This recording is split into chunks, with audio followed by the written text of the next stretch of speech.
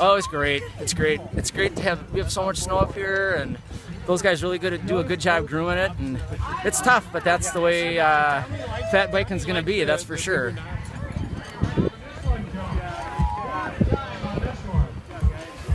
It was so much fun. Um, I like these short, sort of one-hour events where you just have to kind of hammer every hill and just kind of go, go, go, and never look back.